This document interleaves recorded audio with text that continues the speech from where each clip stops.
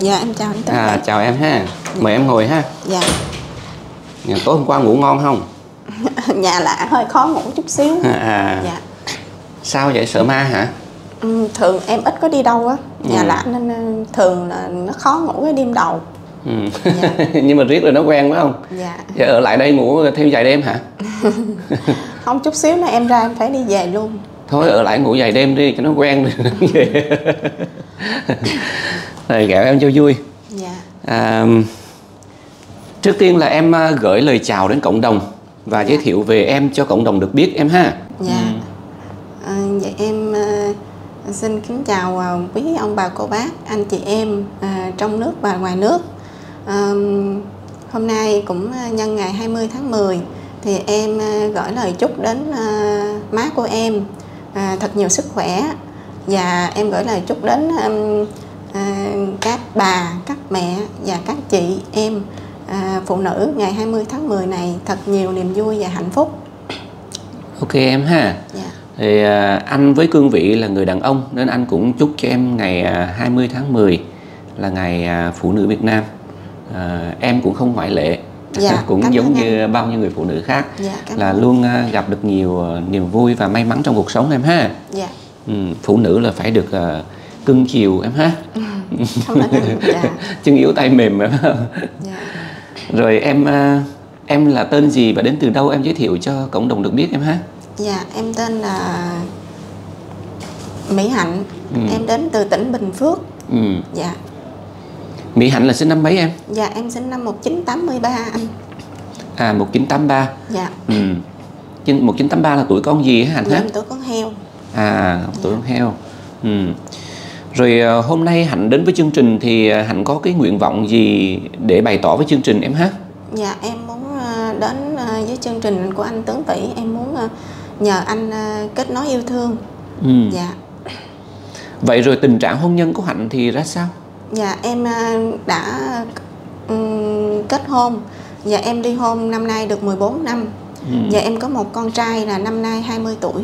Ừ. Dạ, em ly hôn năm ờ, con trai em mới có 6 tuổi. Ừ. Dạ. À, còn hiện tại thì Hạnh đang làm công việc gì? Dạ, em làm ờ, em ờ, kinh doanh buôn bán về phân bón thuốc bảo vệ thực vật á anh. Ừ. Dạ. Vậy là là giống kiểu là ba cái thuốc mà à, chăm bón cho cây cối này kia em hả? Dạ đúng rồi. Ừ. Rồi công việc sao có được thuận lợi không? Dạ thuận lợi anh. Ừ. Rồi à, hiện tại thì à, hai mẹ con đang sống chung. Dạ con trai em thì ờ, nó ờ, đi học á anh, nó học Ừ. ở Sài Gòn. Ừ. Dạ. À, con trai đang học ở Sài Gòn. Dạ. Ừ. Vậy là bây giờ em sống một mình hay là sống với gia đình? Dạ em sống một mình. Ừ. Dạ. Vậy rồi à, cửa hàng là nơi nhà cửa của mình luôn hay là ở một nơi riêng em? Dạ ờ, cửa hàng là nơi nhà em ở luôn. À, nơi nhà Ờ, em cái ở. Ở dưới đất thì em buôn bán kinh doanh, còn Ừ. ở trên phía trên lầu là nơi ở mình sinh hoạt. Dạ. Vậy là ừm, cái nơi em ở là kinh doanh buôn bán được em ha? Dạ. Ừ, em cũng em cũng chỉ ở trong một cái xã cũng như ở đây vậy đó ừ. nhưng mà em buôn bán về cái lĩnh vực phân bón và phân thuốc cho các cái loại cây dạ Ừ. Những địa điểm đó thì cũng không cần phải là ở ngoài chợ lắm em ha. dạ Miễn là mình ờ, có cái nơi buôn bán thì người ta biết đến thì người ta đến, đến người ta mua em ha. dạ Ừ. Và cái cái làm cái việc đó thì hình như nó phải có cái giấy phép ừ, ấy lắm phải không em? dạ có Cũng cũng cũng nghiêm ngặt lắm phải không? dạ trước khi mình bán cái đó là mình phải đi học Ừ. sau khi học thì ờ, người ta mới ờ, bên ờ, bảo vệ thực vật người ta mới cấp giấy cho mình Ừ. được phép bán phân dạ Ừ. sau khi mình học ừ, người ta cho mình cấp cho mình cái giấy là bán thuốc Ừ. dạ Chứ không phải ai cũng bán được em ha. dạ đúng rồi dạ Ừ. dạ Rồi ờ, hôm nay em đến với chương trình đó thì ờ, em muốn bày tỏ đến anh nào ở trên kênh của anh hay là muốn giới thiệu về mình? em muốn giới thiệu cho mình thôi À, muốn giới thiệu về em thôi em ha. Dạ. Ừ. À, đối với đời sống của em thì em đang cảm thấy mình đang ở mức nào và mình có cảm thấy hài lòng với cuộc sống hiện tại không? dạ em rất là hài lòng với cuộc sống hiện tại ừ. nhưng mà à, từ khi ly hôn tới giờ thì em cũng không suy nghĩ tới việc lập gia đình ừ. nhưng mà thời gian gần đây cũng con em nó về Sài Gòn học á ừ. thì em suy nghĩ là mình cũng cũng không còn trẻ nữa rồi à, tuy rằng công việc nó ổn định à, nhưng mà em suy nghĩ rằng sau này khi mà lớn tuổi đó thì mình cần có một người để uh, chăm lo cho nhau về tuổi già ừ. đúng rồi. Dạ. Nói chung là cái việc gì còn có thể làm được sớm chừng nào thì nó hay chừng đó. Dạ. à, đặc biệt là trong cái việc hôn nhân. Vì à, như em cũng biết đó là con người ta thì nó có cái chu kỳ nó có thời. À, sau này nữa thì là bông hoa đó nó sẽ héo. Dạ. Ừ. còn bông hoa này thì hiện tại thì chắc đang còn tươi ha. Trong bây giờ tuổi của em bây giờ nó cũng 40 tuổi rồi ừ. dạ à, nhưng mà đại khái là càng lớn tuổi chừng nào thì cái cái phạm vi nó càng thu hẹp lại em ha dạ. cái đối tượng nó cũng ít đi dạ. ừ. nên là lập gia đình được càng sớm thì nó càng hay hơn em ha dạ. ừ. rồi ờ, chưa nói đến chuyện là nếu mà bên kia có nguyện vọng sinh em bé này kia nữa thì còn còn có thể còn sau này càng lớn tuổi thì cái chuyện sinh em bé thì càng càng khó khăn ha. Dạ. Ừ. à, còn đối với cá nhân em thì sao? Em có nếu mà một nửa của em mà à, khi mà đã về chung sống thì à, bên nửa bên kia mà muốn em sinh em bé thì có trở ngại gì không? Ừ, em thấy cũng bình thường ừ. dạ. Cá nhân em thì em có thích sinh thêm con không nếu mà cái người mà về sống với mình cảm thấy uh, đủ đủ tình yêu thương để chung sống với nhau thì việc đó thì em thấy cũng cũng nên có ừ. dạ cũng nên có em ha dạ. hai đôi bên mà có đứa con thì cái sự gắn bó nó sẽ càng lớn hơn em ha dạ ừ.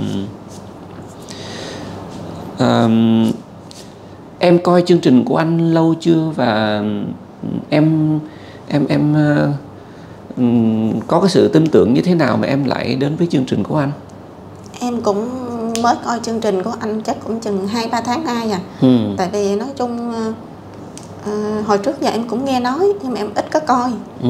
thì uh, những cái thời gian mà rảnh rảnh đó, thì mới đây thì em mới mở điện thoại lên coi ừ. dạ thì uh, em thấy chương trình của anh cũng rất là hay và em thấy anh cũng mát tay có thể kết nối cho được nhiều người nên là em ừ. mới uh, xuống đến anh để nhờ ừ. anh giúp dạ ừ. vậy là có cơ duyên là có ai giới thiệu cho em không có ai đôn đốc này kia không hay là em vô tình em xem được thôi dạ không em vô tình em xem được rồi ừ. em ừ.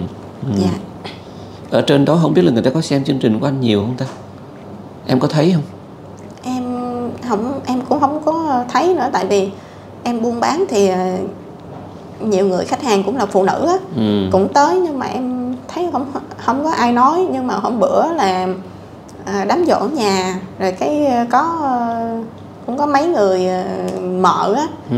mới nói coi thấy chương trình của anh hay. Dạ rồi cái em về em mở lên em coi. Ừ. dạ. Vậy thì uh, coi xong thì cảm thấy rằng là muốn kiếm một ý trung nhân. Dạ. Ừ rồi bây giờ em nói lên cái nguyện vọng của mình đó là muốn kiếm một người như thế nào à, tuổi tác ra sao à, những cái điều em cần em cứ bày tỏ ha dạ ừ. um, cái nguyện vọng của em á là em muốn uh, một người á là uh, hiền lành um, sống chân thật dạ là biết quan tâm tới em ừ. dạ uh, tuổi tác thì uh, lớn hơn em chừng 10 tuổi 15 tuổi đổ lại cũng được ừ. dạ ừ. à, công việc thì à, nếu mà cái người bên đó à, có công việc ổn định thì càng tốt dạ ừ. à, còn khu vực xa gần này kia thì em có e ngại gì không dạ à, xa gần thì em cũng không e ngại nhưng mà với cái công việc mà em kinh doanh mua bán thì cũng nhiều năm nay rồi ừ. thì uh, nếu mà giả sử như gặp um, cái người đó mà công việc bên bên người đó mà có thể tốt hơn em, thì em cũng sẵn sàng có thể là theo. Còn nếu mà công việc không tốt hơn em thì có, thì thì ờ, có thể về sống với em thì cũng được. Dạ. Ừ. rồi đối với em thì hiện tại thì chắc là em cũng kinh doanh buôn bán ở đó quen rồi và những cái thứ mà em buôn bán thì chắc là cũng không phải địa phương nào cũng cũng có thể bán được em ha. Dạ. Ừ, những nơi ví dụ như họ trồng trọt hoặc này kia nhiều thì nó phù hợp với địa phương thì buôn bán nó mới có hiệu quả em ha. Dạ đúng rồi. Ừ, ở trên ờ, cái vùng của em á, là người ta trồng cao su Ừ. và điều và các cái loại cây ăn trái. Ừ, nên là em bán như vậy em bán luôn cả vật tư cao su. Ừ. dạ. À vậy đó em ha. Dạ. ừ.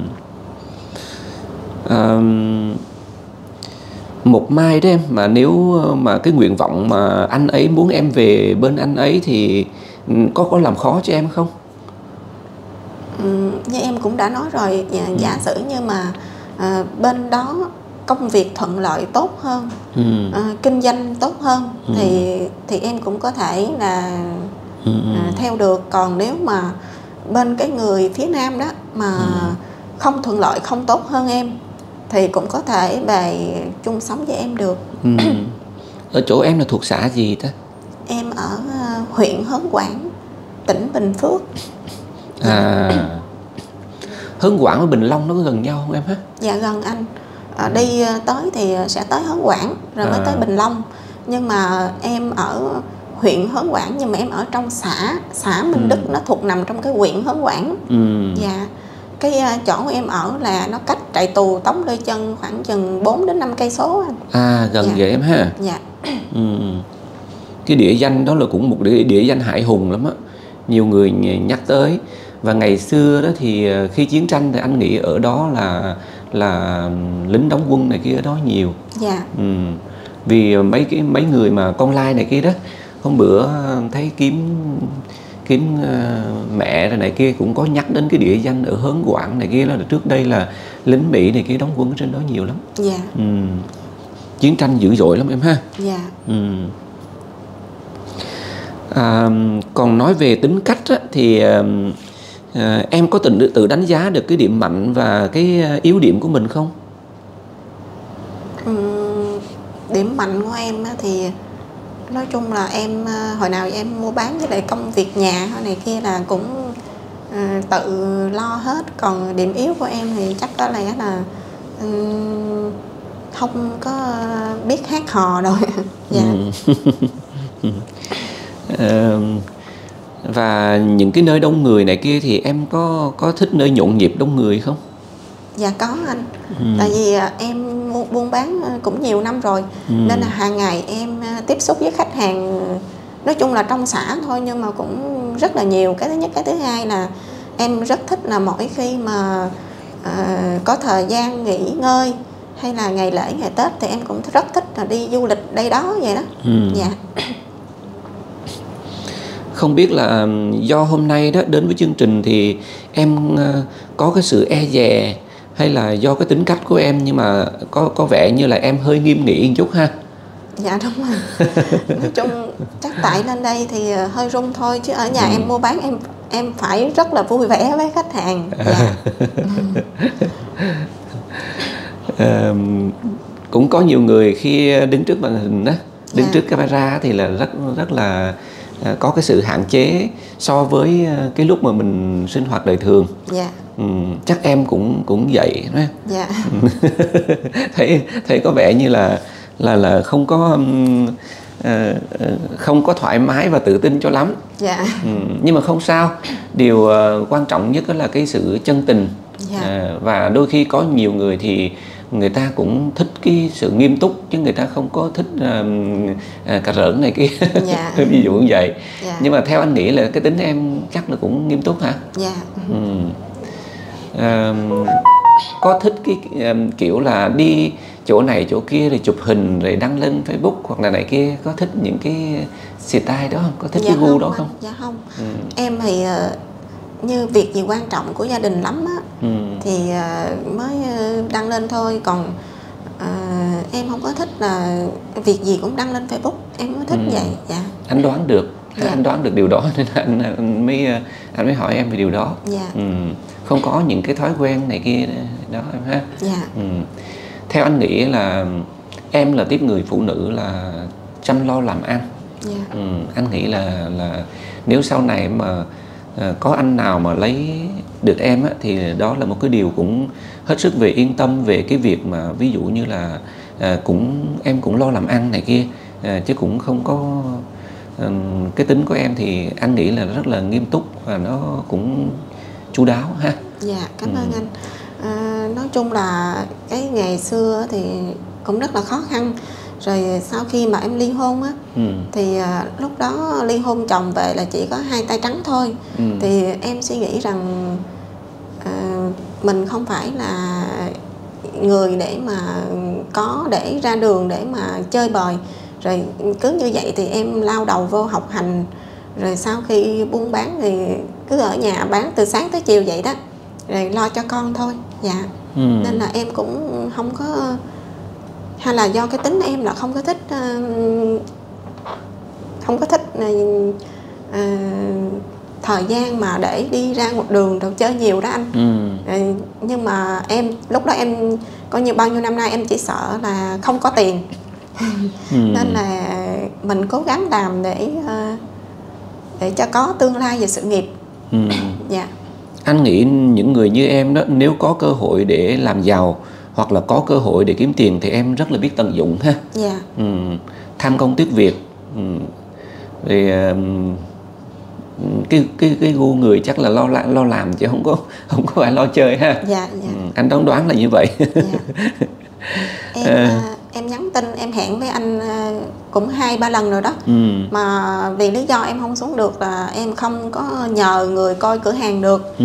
có nghĩa là khi em đi xuống đây là em phải nhờ má của em Ừ. hoặc là một đứa cháu nó coi cửa hàng tại vì khi mình đi ra khỏi cửa hàng là à, khách hàng người ta kiếm á Ừ.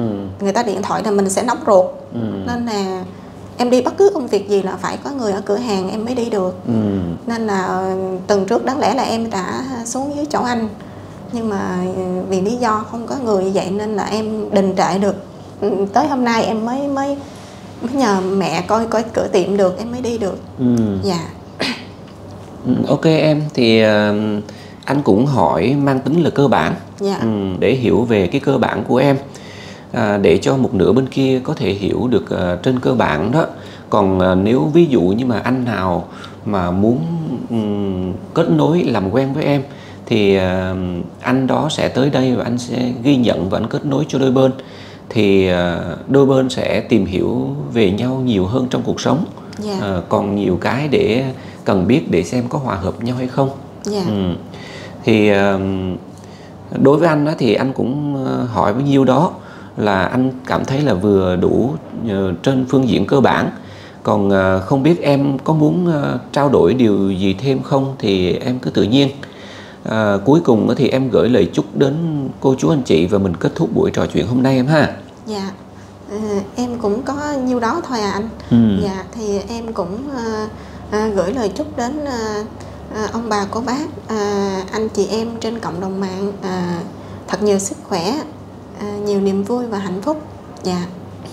Ok em ha. Dạ. Rồi nếu có dịp thì ờ, anh mà có đi công chuyện ở trên đó dạ. mà anh có muốn ghé nhà em để anh ghi nhận ờ, thực tế nơi em sinh sống thì không biết là có trở ngại gì cho em không? Và em có ờ, sẵn sàng để anh cập nhật ờ, cuộc sống của em hiện tại không? Dạ em sẵn sàng Ừ. nếu mà anh có dịp lên trên ờ, ờ, huyện Hớn Quảng Ừ. thì ờ, em rất hoan nghênh về điều đó dạ Ừ. dạ Nói chung là anh nói đây thì ờ, mang tính là nếu có dịp thì anh muốn ghi nhận là cái nơi sinh sống của em để cho một nửa bên kia nếu muốn tìm hiểu của em sẽ rõ hơn. Dạ. À, đó là nếu thôi chứ Dạ. còn thật sự là ở đi trên hướng quảng thì nếu có dịp thì kết hợp thì mới mới mới mới được. Dạ. Còn ở đây lên đó chắc là xa lắm đúng không em? dạ xa Nó, nó chắc là phải có trên ba hai trăm cây có ha. Trên 200 cây á. em không biết bao nhiêu cây mà em đi ngày hôm qua em đi ngày hôm qua em đi từ sáng hôm qua Ừ. à, chiều hôm qua em mới tới đây Ừ. à, ở trên em á, là em không có biết cái xe mà đi thẳng xuống đây nên em phải đi làm hai chặng xe Ừ. lần Phải xuống Sài Gòn rồi mới đi qua đây. dạ phải xuống bến xe miền tây rồi Ừ. mới đi xuống dưới đây được dạ Vậy à, từ trên em mà xuống Sài Gòn thì em có nắm được là mấy bao nhiêu cây số không? em không nắm được À, luôn không có nắm dạ. được, ừ. dạ hôm trước á, anh đi lên Bình Long á thì Bình Long về đây là 300 cây dạ ừ. thì chỗ em gần Bình Long rồi ha ở chỗ em gần rồi Ừ. ở chỗ em mà đi ra Bình Long là chỉ có 5 cây số à. dạ nếu vậy thì đúng là gần gần 300 cây dạ ừ. rồi thì anh cũng ờ, xin ghi nhận cái sự mà quyết tâm của em Ờ, cũng hy vọng là mọi việc tốt đẹp sẽ đến với em ha dạ Ừ. dạ em cảm ơn anh rồi vậy ờ, giờ đây đó thì phiền em ra ngoài là cài cái micro cho cái người tiếp theo giùm anh nha em nha dạ dạ Ừ, em cảm rồi ơn chào em em chào ha anh. dạ, dạ. Ừ, ừ.